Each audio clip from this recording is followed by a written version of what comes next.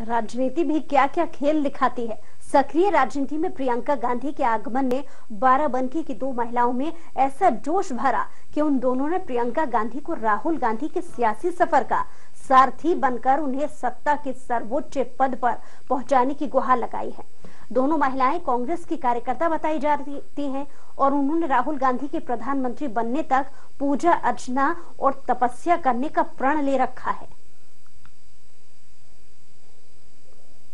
मैं जो हूँ प्रियंका गांधी जी को दुर्गा माता के रूप में देखती हूँ और मैं ये दिल से चाहती हूँ कि जो उनके भाई हैं राहुल गांधी जी, वो जो है इस बार प्रधानमंत्री बने और जैसे महाभारत में कृष्णा जी ने अर्जुन जी का साथ देकर मुझे दिलाई थी, वैसे हम चाहते हैं कि प्रियंका जी उनका साथ देकर उनको राहुल गांधी जी को प्रधानमंत्री के रूप में लाएँ। और ज़्यादा जानकारी के साथ स्वराज समता भोलानाथ फ़ोन लाइन पर जुड़ गए हैं।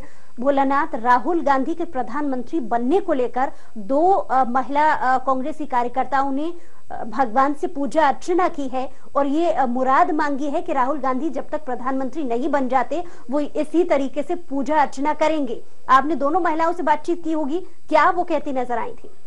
जी सोनिया बता दें आपको दो हज़ार काटा जा रहा है किसी महाभारत से कम नहीं, जिस तरह महाभारत में श्री कृष्ण ने अर्जुन को चूकने नहीं दिया, उसी तरह से जोश भारतीय कांग्रेस कांग्रेस के कार्यकर्ती है, जो प्रियंका गांधी को बनने के लिए उत्तर प्रदेश की राजधानी से बाराबंकी से दो महीने कठिन तपस्या शुरू कर दी। उन्होंने एक कमरे में बाकायदा अपने प्रियंका गांधी को मन होकर और काली श्री कृष्ण का रूप देकर पूजा अर्चना शुरू कर दी। इनका कहना है कि राहुल गांधी आप सियासी महाभारत के अर्जुन हो और उनकी बहन प्रियंका गांधी को श्री कृष्ण बनकर उनका साथ देना चाहिए। इतना ही कहकर कांग्रेस के राष्ट्रीय अध्यक्ष राहुल गांधी देश के अगले प्रधानमंत्री बन जाए तब तक उनकी पूजा जारी रहेगी।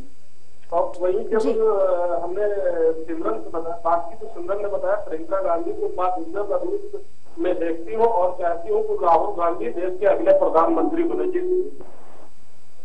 चलिए बहुत शुक्रिया तमाम जानकारी के लिए